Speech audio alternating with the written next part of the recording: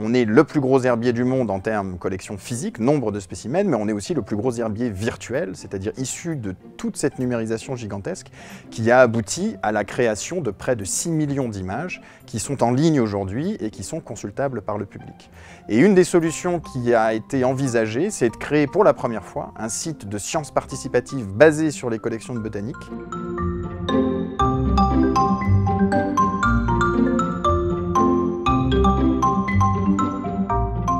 Quand on a créé ces millions d'images, on les a faites sur des plateformes de numérisation qui vont très vite et on ne pouvait pas demander aux techniciens sur ces plateformes de saisir toutes les informations qui sont associées à chacune de ces plantes, qui sont à minima un lieu précis et une date de collecte de la plante, mais qui peuvent aussi regrouper, recouper des données ethnobotaniques sur la façon dont la plante est utilisée, des données écologiques sur euh, là où la plante a été trouvée, une description de cette plante, puisque ces plantes qu'on va mettre en herbier, on les presse et on les sèche, ce qui aboutit parfois à des pertes de couleur, des pertes de parfum, donc il y a vraiment un intérêt à consigner sur le papier par des notes toutes les informations relatives à la plante telle qu'on l'a vue à l'état frais,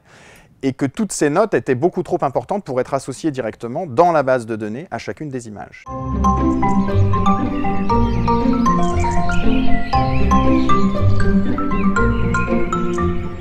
C'est vraiment ouvert à tous. Hein. L'idée, ce n'est pas de travailler qu'avec des botanistes en ligne, parce que sinon le travail se ferait à peu près au même rythme qu'il se fait aujourd'hui, et de permettre à ces gens, en leur soumettant les images des spécimens, la possibilité de lire l'étiquette et d'entrer en parallèle les informations qu'ils vont pouvoir lire sur les étiquettes et qui sont manquantes aujourd'hui dans notre base de données issue de la, de la grande opération de numérisation.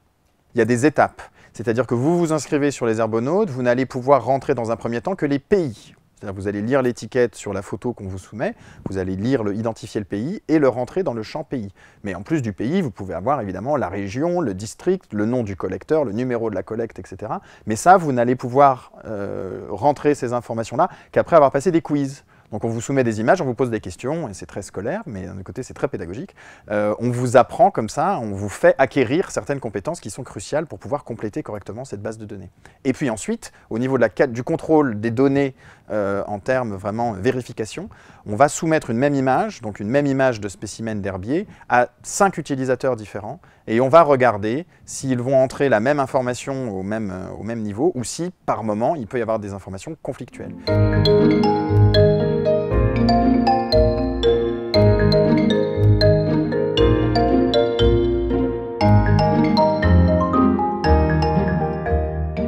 Dans un monde qui change énormément, on le sait par les médias, on sait qu'il y a une crise de la biodiversité qui est manifeste, qui est visible. Puis j'aime aussi à penser que les gens euh, peut-être rejettent ces espèces de, téléphones portables qui en permanence nous poussent à regarder tout sauf l'essentiel, c'est-à-dire tout sauf l'architecture, tout sauf les plantes, tout sauf les oiseaux. Eh bien peut-être que les gens ont besoin de se raccrocher à des choses plus, simples et probablement plus belles et plus essentielles.